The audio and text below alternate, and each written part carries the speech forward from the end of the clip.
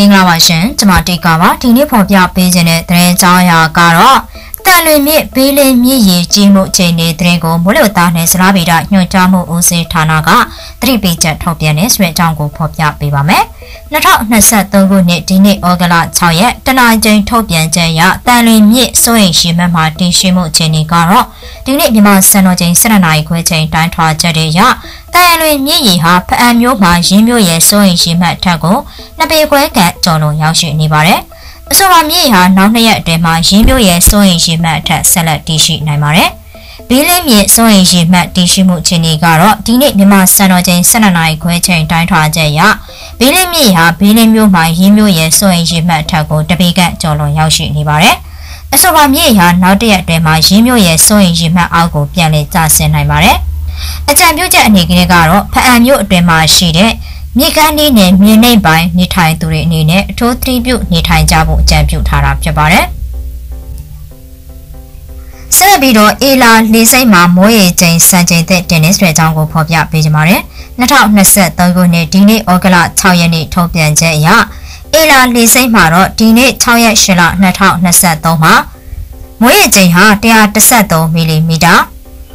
4.45လက်မအနေနဲ့ မိုးရေချိန်စံချိန်သက်တင်ခဲ့တယ်လို့မိုးလေဝသနဲ့ဇလားဗေဒညွှန်ကြားမှုဦးစီးဌာနကထုတ်ပြန်ခဲ့တာဖြစ်ပါတယ်။ဆက်လက်ပြီးတော့2023ခုနှစ်ဩဂုတ်လ6ရက်ဒီနေ့မနက်10:00နာရီခွဲချိန်ပင်လယ်ပြင်ခိတွယ်မိုးလေဝသခံမှန်းချက်ကိုဖော်ပြပေးပါမယ်။ဘင်္ဂလားပင်လယ်အခြေအနေကတော့ကပ်ပလီပင်လယ်ပြင်နဲ့ဘင်္ဂလားပင်လယ်အော်တောင်ပိုင်းမှာမုတ်တုံလေးအားကောင်းနေပြီးကြံဘင်္ဂလားပင်လယ်အော်မှာမုတ်တုံလေးအားသင့်တဲ့ရှိနေပါတယ်။ရောင်ကနေသတင်းနိုင်ကင်မရာတလျှောက်ပင်လယ်ပြင်ခိတွယ်မိုးလေဝသခံမှန်းချက်ကတော့ ဒီနေ့မွန်တဲကနေနောက်24နာရီအတွင်းမှာနေရာနှံ့ပြမိုးထစ်ကြုံကျွာပါမယ်။အမြင့်တာအနေနဲ့ကတော့၄မိုင်မိုးရွာစင်မှာတမိုင်ကန်နဲ့ရေပြင်လေးပြင်ဟာအနောက်ဒါမှမဟုတ်အနောက်တောင်ကိုတနအီကိုပင်နေမိုင်စင်မိုင်ကနေ15မိုင်တစ်ခါတရံမိုင်30ကနေ35မိုင်ရှိပါမယ်။လိုင်းချင်နေဟာလိုင်းတင်တဲ့ကနေလိုင်းကြီးပါမယ်။လိုင်းမြင့်ဟာ9ပေကနေ10ပေကရှိပါမယ်။ ရန်ကုန်ကနေရခိုင်ကမ်းရိုးတန်းတစ်ချောင်းပင်လယ်ပြင်ခီးအတွက်မိုးလေဝသခံမှန်းချက်ကတော့ဒီနေ့မွန်တဲကနေနောက်24နာရီအတွင်းမှာနေရာနှံ့ပြမိုးတက်ကြုံရွာပြီးနေရာကွက်ပြီးတော့မိုးကြီးနိုင်ပါတယ်။အမြင့်တာနေနဲ့ကတော့3မိုင်မိုးရွာစင်မှာတမိုင်ကန်နဲ့ရေပြင်လေပြင်ဟာတောင်ဒါမှမဟုတ်နောက်တောင်ကိုတနအီကိုပင်လယ်မှာ10မိုင်ကနေ15မိုင်တစ်ခါတရံမိုင်30ကနေ35မိုင်ရှိပါမယ်။လိုင်းချီနီဟာလိုင်းတင်တဲ့ကနေလိုင်းကြီးပါမယ်။လိုင်းမြင့်ဟာ9ပေကနေ10ပေကရှိနိုင်ပါတယ်ရှင်။ ဆက်လက်ပြီးတော့2023ခုနှစ်ဩဂုတ်လ6ရက်ဒီနေ့မနက်9:00နာရီချိန်နေ့စဉ်မူလသားသတင်းကိုဖော်ပြပေးပါမယ်။ဘင်္ဂလားပင်လယ်အခြေအနေကတော့ကပ်ပလီပင်လယ်ပြင်နဲ့ဘင်္ဂလားပင်လယ်အော်တောင်ပိုင်းမှာမုတ်တုံတွေအားကောင်းနေပြီးကြံဘင်္ဂလားပင်လယ်အော်မှာမုတ်တုံတွေအားသင့်တဲ့ရှိနေပါတယ်။ဒီနေ့ညနေချိန်ထိခံမှန်းချက်ကတော့စကိုင်းတိုင်းဒေသကြီးအောက်ပိုင်းမကွေးတိုင်းဒေသကြီးနဲ့ကယားပြည်နယ်မှာနေရာကျကျ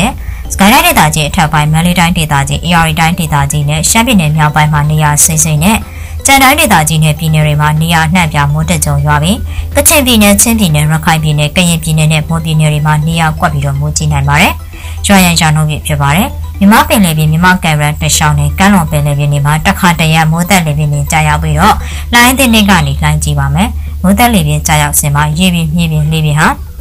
တနအီကိုမိုင်30ကနေ35မိုင်ထိတိုက်ခတ်နိုင်ပါတယ်။လိုင်းမြေဟာမြမကံရက်တရှောင်းနဲ့ကမ်းလွန်ပင်လယ်ပြင်တွေမှာ9ပေကနေ10ပေကရှိနိုင်ပါတယ်။နောက်နှစ်အတွက်ခံမှန်းချက်ကတော့မိုးတုံလေးအားသေးတဲ့ရှိနေပါမယ်။နေပြည်တော်နဲ့အနီထွတ်အတွက်ကတော့ဒီနေ့ညနေချိန်ထိခံမှန်းချက်ကတော့မိုးတစ်ချိန်နှစ်ချိန်ထစ်ကြုံရွာပါမယ်။ရွာရန်ရှာနှုတ်ပြဖြစ်ပါတယ်။ရန်ကုန်မြို့နယ်နှီးထွတ်အတွက်ကတော့ဒီနေ့ညနေချိန်ထိခံမှန်းချက်ဟာနေရာကွက်ကြမိုးတက်ကြုံရွာပါမယ်။ရွာရန်ရှာနှုတ်ပြဖြစ်ပါတယ်။မန္တလေးမြို့နယ်နှီးထွတ်အတွက်ကတော့ဒီနေ့ညနေချိန်ထိခံမှန်းချက်ဟာနေရာကွက်ကြမိုးတက်ကြုံရွာပါမယ်။ရွှာရန်ရှာနှုတ်ပြဖြစ်ပါတယ်ရှင်။ဆက်လက်ပြီးတော့မြောင်းရီမှာရေကြီးရေရှမ်းမှုတွေနဲ့အတူတူတိုက်ပွဲတွေကြောင့်ဒေသခံတွေထပ်မံတိမ်းရှောင်နေရတယ်ဆိုတဲ့အကြောင်းကိုဖော်ပြပေးကြပါမယ်။ကရင်ပြည်နယ်မှာဩဂလ၁ရက်နေ့ကနေဩဂလ9ရက်နေ့အထိမိုးဆက်တိုက်ရွာသွန်းပြီးတော့ဒေါနတောင်ကြားရီ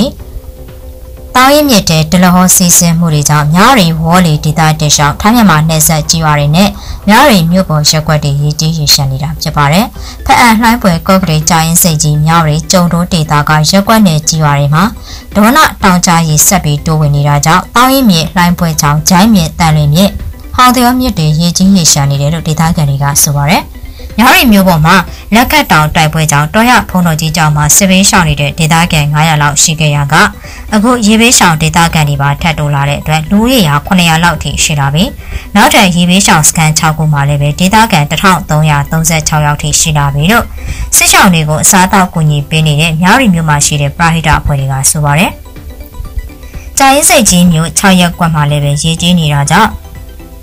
အိမ်ကြီး82အိမ်လောက်ရင်မြုပ်နေပြီးရက်ကွက်အတွင်းနေထိုင်သူတွေကြာရင်စိတ်ကြီးမျိုးမူဂျူကျောင်းအနောက်ဘက်ကုန်းမြင့်လမ်းဘက်မှာပြောင်းရွှေ့နေထိုင်ရတယ်လို့ဒေသခံတွေကဆိုပါတယ်။ဖန်ကြာအင်းတောင်တက်လန်စကရိတ်မြို့တဲ့တောင်တက်လန်ဝေါ်လီစုံစည်းမြိုင်လမ်းပိုင်းမြောက်ရီကော့ဂရိတ်အာရှလမ်းပိုင်းမှာလည်းတောင်ပြိုမြေပြိုလမ်းပြိုပြတ်တာတွေရှိနေတယ်လို့ဆိုပါတယ်။လိုင်းပွက်မြို့ပေါ်ရက်ကွက်လေးခုအပြင်ကျောင်းတွေဈေးတွေဆေးရုံနဲ့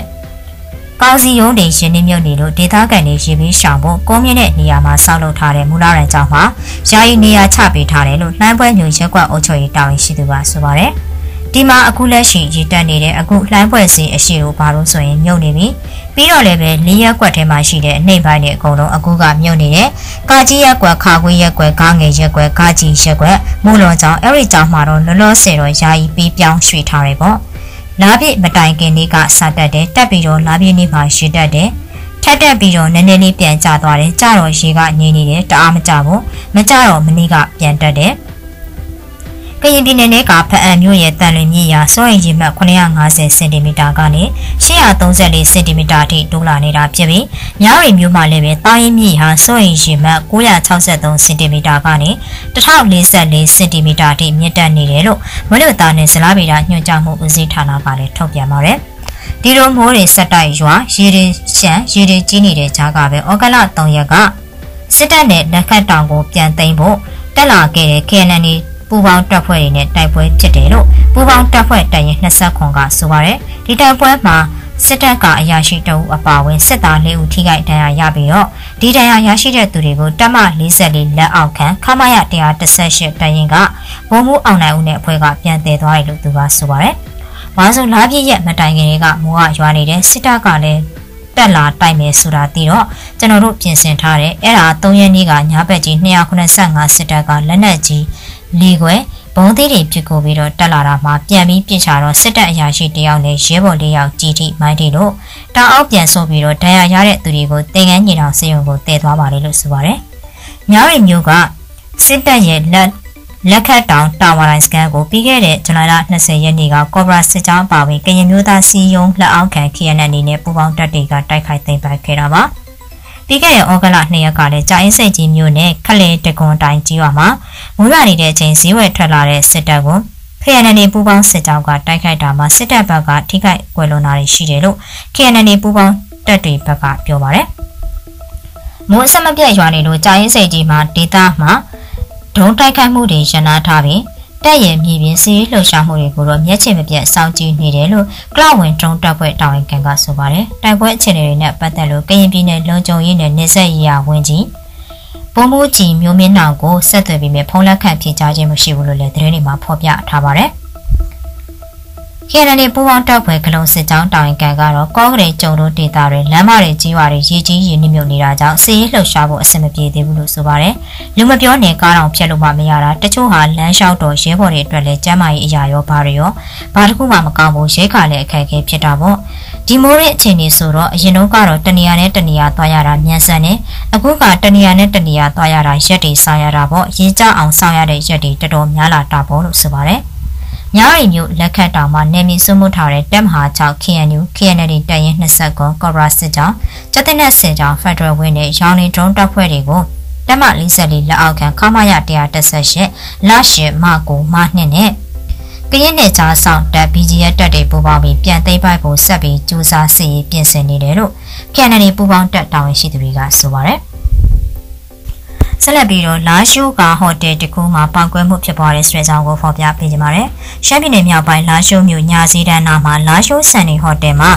ဒီနေ့ဩဂလ6ရက်နေ့မနက်7:00နာရီကျော်ကပြင်းထန်တဲ့ပောက်ကွဲမှုတစ်ခုဖြစ်ခဲ့တယ်လို့မြို့ကန်တွေကဆိုပါတယ်။ မြို့ကန်တယောက်ကတော့လာရှိုးညာစီတန်းနဲ့တလန်ကျော်သိန်းထိုက်ရုပ်ရှင်ကိုနောက်ကလာရှိုးဆန်နီဟိုတယ်မှာဒီကနေ့မနက်ပိုင်းပောက်ကွဲမှုဖြစ်တဲ့ဘုံပေါက်တာလာတော့မသိဘူးပောက်ကွဲတန်ကြီးကတော့မိခိုးတွေအိုပြီးထွက်လာတယ်လူထိခိုက်မရှိဘူးလို့တော့ပြောပါတယ်လို့ဆိုပါတယ်ဒီပောက်ကွဲမှုမှာလူထိခိုက်မရှိဘူးလို့မြို့ကန်တွေကပြောဆိုပြီးပြီးခဲ့တဲ့ဇွန်လ15ရက်မနက်ပိုင်းကလည်းလာရှိုးမြို့မစီကြီးရဲ့မိလာဘေးကဇွဲထက်ရွှေဆိုင်ရှိမှာပောက်ကွဲခဲ့လို့ဈေးဆိုင်ဝန်ထမ်း12ယောက်တန်းရအပြင်းထန်ရရှိခဲ့ပါတယ် ပြီးခဲ့တဲ့လကလည်းဇွဲထက်ရွှေဆိုင်ရှိမှာပောက်ကွဲလို့ဆိုင်ဝန်ထမ်း12ယောက်တန်းရအပြင်းထန်ရရှိခဲ့တာရှိတယ်။အဲ့ဒီဖြစ်စဉ်ကိုစစ်တပ်ရောရေရောမဖော်ထုတ်နိုင်ဘူးလား။လာရှိုးမှာကဒီလပိုင်းတွင်ပောက်ကွဲမှုတွေမကြာခဏဖြစ်လာတယ်။လူရဲမှုတွေကလည်းမျိုးစုံပဲလို့မျိုးကန်တယောက်ကဆိုပါတယ်။လာရှိုးမြို့ဟာရှမ်းပြည်နယ်မြောက်ပိုင်းရဲ့မြို့တော်ဖြစ်ပြီးတော့စစ်တပ်ရဲ့အရှိမြောက်တိုင်းစစ်ဌာနချုပ်ရှိရာမြို့ဖြစ်တယ်လို့ဒုပြည်နယ်ရဲတပ်ဖွဲ့ရုံးဆိုင်ရာမြို့လည်းဖြစ်ပါတယ်။ လာရှိုးမြို့အတွင်းစစ်တပ်နဲ့တိုင်းရင်းသားတော်လှန်ရေးတပ်ဖွဲ့တွေမကြာခဏတိုက်ပွဲဖြစ်ပွားနေသလိုဒီပောက်ကွဲမှုတွေလည်းဖြစ်ပွားလိမ့်ရှိပါတယ်ရှင်။